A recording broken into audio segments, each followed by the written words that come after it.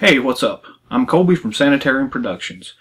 Over the last little bit, I've been putting out a lot of the unboxing videos from the G.I. Joe line. So I thought I'd spice things up a little bit by going back to a restoration video.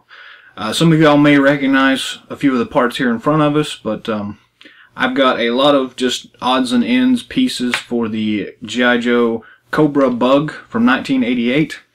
Uh, most of these are in various different states of disarray. Uh, some of them have broken parts. Some of them have some chewed up pieces. Some of them just are just kind of rough in general. So what I'm going to do here is uh, go through all these parts that I have and just kind of sort them out, find the good parts.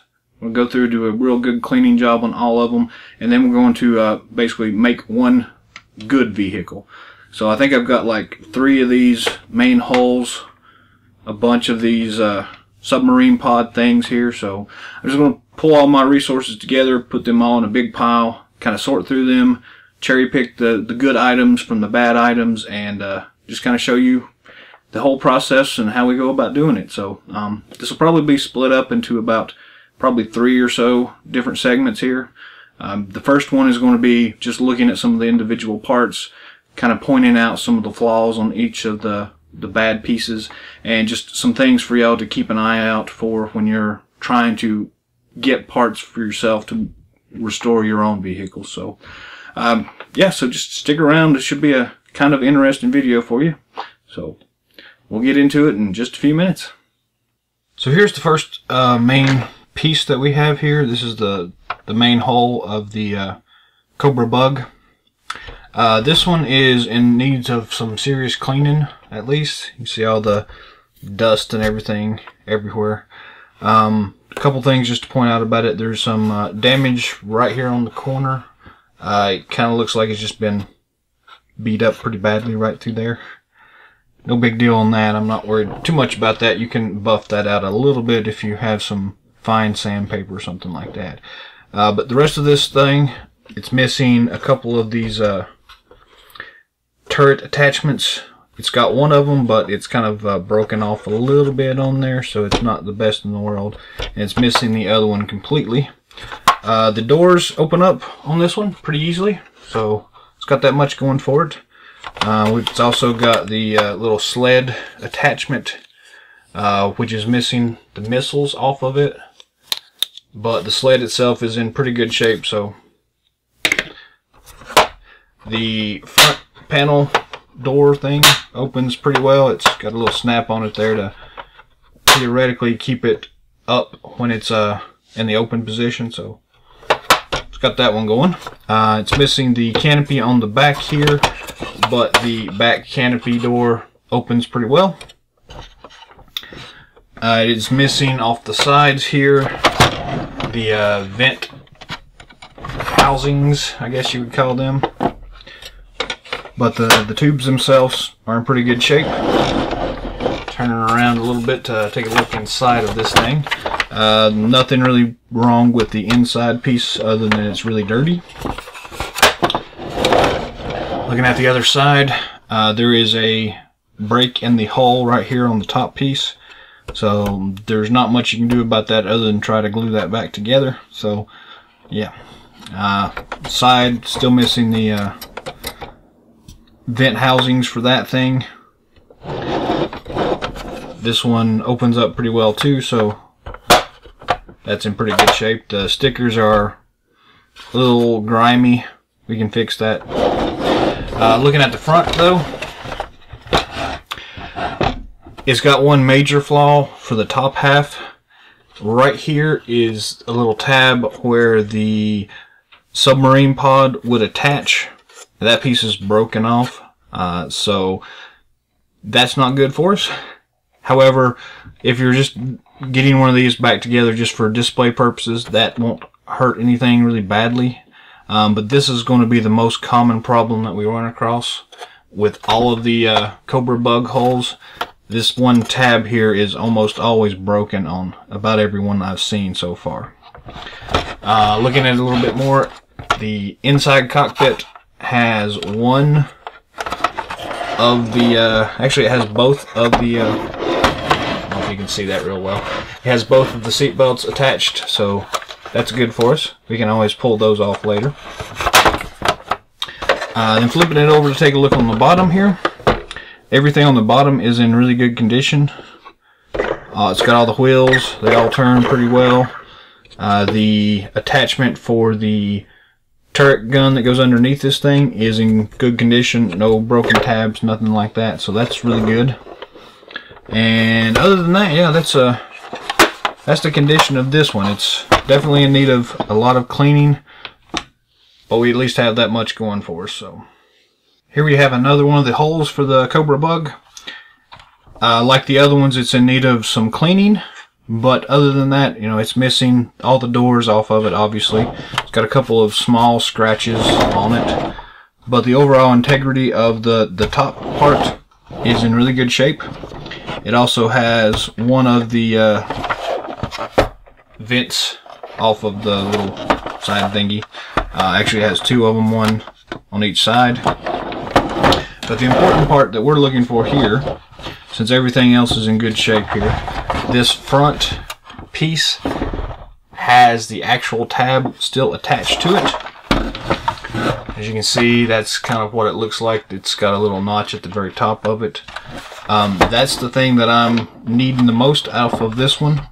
So this is a very good candidate for restoration because it is got no broken parts on it.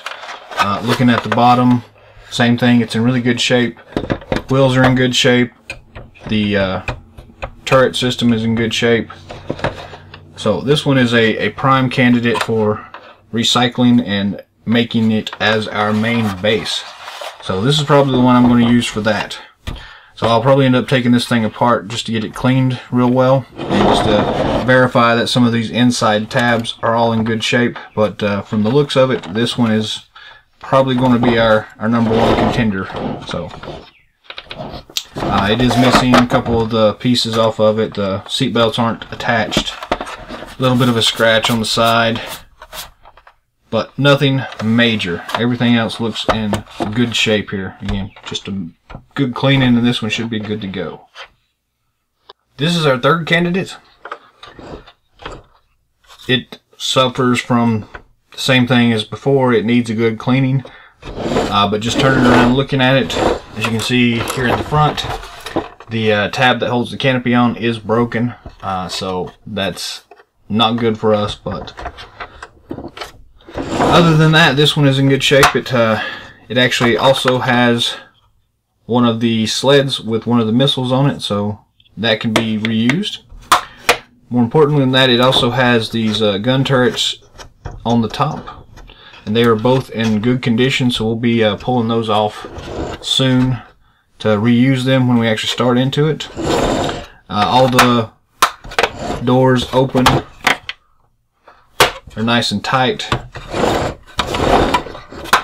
Actually has a second little sled without the missiles on it but uh, we'll see a bunch of these at some point. Uh, and it also has one of the uh, vent cover things for it, so that's uh, got that going for it. The uh, front missile, front bay door opens pretty easily. Nice snap to it when you do that. No seat belts like the other one, but uh, that's okay. Flipping it over, uh, we see a little bit of scratches on it but uh, everything else looks to be in good shape on the bottom so that's that's all nice and good. Uh, looking at over here though here is the actual gun turret that goes underneath here. So this is the first one we've seen that was attached. You can see it just uh, rotates around like that and then the guns themselves rotate as much as you want to there. So uh, the turret itself is a little scratched up and as you can tell one of the gun cannons is a little bent uh, those are kind of flimsy plastic anyways, but they're not broken. Everything's in pretty good shape there, so that's another good prime candidate for uh, getting parts off of. Yeah, so that is uh, the third base unit we have. This one probably won't be used for the main body for our restoration, simply because it does have the broken tab on it. But all the other parts off of it, you can pull off and use them pretty easily. Uh, I'll point out this one has the actual yellow sticker. So this one actually, the Cobra BUGG came with a couple of different variations of that. You had one that was kind of a clear sticker and one that was a yellow sticker.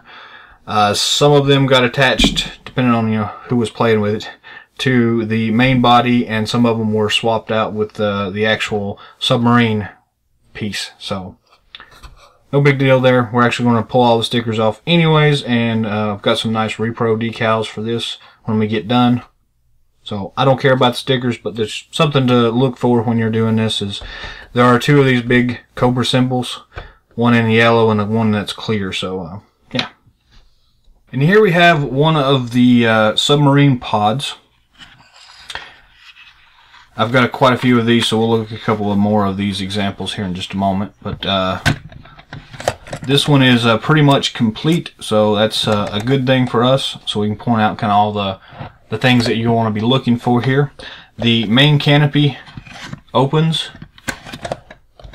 and this one looks like it's in pretty good shape. I don't see a lot of scuffing and scratching on it. Uh, it could use a good cleaning like everything else here. Looking on the inside, two seats, and there should be two seat belts that attach to this.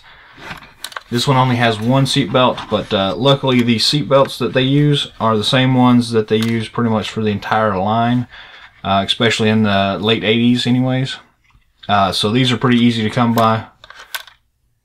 Find one from any vehicle basically and you can put it in its place. Uh, looking at the bottom of it, you're wanting to have one of these turret systems. Uh, it's pretty much the same as what was on the main hull of the main vehicle. Uh, this particular one has one of the gun cannons that's broken off. The other one's intact, so uh, we'll need to change that out. But the actual turret itself is in pretty good condition, so nice. Looking at the back of it, it this particular one has these uh, the wing attachments. I don't know what else you'd call them, but uh, they're basically used as a uh, steering mechanism on this thing. And this is one of the parts that is uh, pretty hard to come by. There are are, usually the most common thing that's lost or broken off of this set. Uh, but this one is completely intact. It has a couple of attachment points here, and it has this uh, steering support strut here that attaches the two so that they turn at the same rate. Uh, then there's also this kind of weird whirlybird looking thing, rotor system that attaches. Uh, this one is in pretty good shape. A couple of the other ones I have are a little scuffed up. Uh, this one has one small scuff on the corner right here, but nothing I can't buff out with a little bit of uh, sandpaper or something like that. So yeah, so overall this is a good condition one. So this would be a prime candidate to reuse in our just overall restoration process. Uh, the stickers on it are scuffed up so we'll be removing them. There's some stickiness on that. But other than that, yeah, this is in pretty good shape. So this is kind of what you're looking for. Here we have another example of the submarine pod. Much like the other one, it's in pretty good shape. Uh, as you'll notice here, the sticker, as we talked about in the main hull, someone's attached the clear sticker to it instead of the yellow one. Uh, but they are swappable, so it doesn't really matter. It's kind of a customization thing, whatever you want there. The canopy on this one is a little sticky, but it does open pretty well. Uh, it's a little scuffed up. It needs a good cleaning. Looking on the inside, it does not have any of the seat belts, but other than that, the cockpit's in pretty good shape. Again, dusty, but in good shape. Looking at the bottom of it, the turret system we have here is actually intact and is not broken at all. So all the guns are in place. So that's a good sign for us. Then looking at the back, it does not have the little fins on it, but it does have the rotor system here. Uh, so yeah, so this is, uh, we could probably pull some parts off of this one and clean it up pretty well, and it would be a good a good candidate for reusing this restoration process. Uh, a little bit of scuff mark here on the back of it, but yeah, overall it's pretty good shape. So here is an example of the little ski boat thing that it comes with this thing. This one has the two missiles on the side, and that's pretty much all. It has this flip-up steering column. And the idea would be that you, this figure would stand here, grab the handles, and it's kind of like a jet ski kind of thing. So there's not much to these things. These are pretty easy to come by. If you flip it over on the underneath side, there is this uh, backpack peg which would attach to the back of the figures and uh, you could actually have one figure driving this thing and another like Frogman underneath here so it's used as a transport vehicle also uh, then if it's on land they could use it as an actual jetpack too if they wanted to uh, which is kind of cool so uh, these things are fairly easy to come by the missiles themselves though are a bit difficult to come by um, when you can find them they tend to be a little pricey but you'll need four of these total. So if you had, like me, you have a bunch of these different things laying around, you can probably scrape up enough of the parts. Uh, most of these things will come with either one or two or none. So if you're lucky enough to get some that actually have these attached, it's going to make things a lot easier for you. But if not, you'll have to search out these little small missiles. So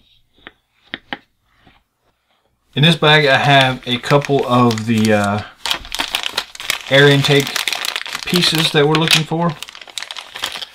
Uh, and I'm just going to pull out two of them right now. So we've got two different ones that you'll need. And hopefully you can kind of see the difference here. One of them is flat and just has uh, vertical or horizontal, depending on how you're looking at it, uh, fins on it. You'll need two of those in this whole process, uh, and they just snap on, so there's nothing really to be looking for other than that, to, that, to, that you do need them.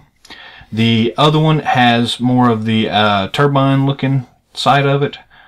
And again, it just kind of just snaps in place, so nothing major there. But you'll need two of each of these, one for each side of the big longboat looking thing. So find two of those. Uh, they're usually not too bad to find. Um, they're usually not attached to most of the vehicles though. Uh, you'll often find a vehicle that has one or the other, but usually not both types. Or at least not all of them completely intact.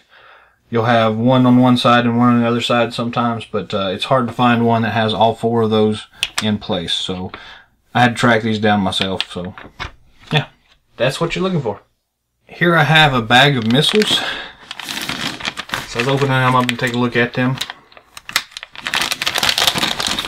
Uh, I've got a couple of other parts in here too, but uh, what we're worried about are the different missiles that we have. So uh, on the Cobra BUGG, there are two different types of missiles you're looking at. You're needing these Trident missiles, and you're needing these, uh, I don't know, torpedo missiles or whatever you want to look at them for. Um, so yeah, a lot of times you'll find these without the tips attached or without the uh, the end cap attached. Uh, so there's a red piece on each end of this missile specifically, uh, whereas the uh, Trident is just one solid piece, nothing special here. So you'll need to track down, I think there's uh, two of these big missiles and like six of these little ones, uh, but we'll get a final count when we're actually doing the restoration process. But uh, you'll want to track down both types of missiles here. So here is the uh, back turret assembly. It's a bag of them here actually, so uh, let's pull out what you're looking for. These things are pretty easy to come by, uh, but you may have to actually get them in a separate lot. They don't often come attached to the vehicle. Uh, but this is essentially what you're looking for. So it's one glass canopy or plastic canopy. Uh, this particular one is in pretty bad shape as far as uh, it's kind of cloudy and really dirty looking. Uh, but the front of it has this nice gun system on it and it just attaches with these hinged pieces and they just snap in place like that. Uh, so you'll need at least one of these, depending on how many of these you're trying to do, but uh, one for the, the main Cobra BUGG itself. And you'll try to look to make sure that uh, when you move the gun, that it's pretty tight and it stays in place wherever you move it. Uh, you'll sometimes find these that are a little bit loose so the gun won't point up, won't stay in place. So if you're looking for one, try to find one that uh, holds it tight in place. Just a quick note here on the uh, rear turret canopy.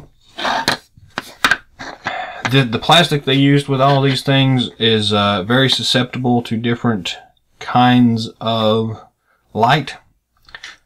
So here's an example of one that is completely cloudy. Uh, it is kind of a dark blue smoke color, whereas this other one is more of a, just a regular smoke color. It's kind of a light green what you're really looking for is a clear one of these. Uh, completely clear, see-through, not cloudy, not gray like this, not smoky green like this one, but try to find one that is as clear as possible. Um, if not, you just need to try to match up the glass pieces with uh, whatever it is. So if you end up with one like this, try to find the main canopy piece and the uh, main submarine glass canopy that is similar in color. So it doesn't look odd but that's going to be one of the big discrepancies you find is that uh, there's a lot of different variations in the coloring on all these. So just try to find a couple of pieces that match one another and you'll be fine. Doesn't really matter which color it is just uh, try to match them all up last we have the front canopy that attaches to the the driver's seat I guess you could say um, it's a single one-piece glass. Well, it's plastic, but it's meant to be glass. so uh, that's what you're looking for here. Uh, there's nothing really special about it. This particular one that I'm looking at right now is kind of scuffed up and it's a little cloudy. But as we mentioned with the other ones, uh, there's going to be a lot of variations in what you can find out there. So here are three examples two of them that are pretty close to one another, and then this other one that's a very dark smoke colored. I don't know. I think that was maybe a change in how they were um, manufacturing it, but most people are trying to find these clearer looking ones. And again, the ones that I have here are more of a greenish smoke color. Uh, I don't really like that one as much as I like the real clear ones. So if you can find a clear one, that's the one you want. Uh, however, if you can't find a clear one, just make sure that you match these up with all the other glass pieces that you have in your project. It just makes a overall nicer presentation if they're all matching. But sometimes you don't have that luxury, so uh, get what you can and use it when you can. It'll be fine. So that's an overview of the 1988 Cobra BUGG uh, all the parts and pieces that we're going to have to look at and some of the common problems you'll find when doing restoration work for yourself. Uh, in our next segment, what we're going to be doing is actually just taking these things apart, so disassembling them and pulling off the parts that we're going to reuse in the actual build itself, and then we're just going to clean those up. So check out some of our past videos, subscribe below if you haven't already, let us know in the comment section if you'd like to see something specific, uh, and until next time, yo Joe.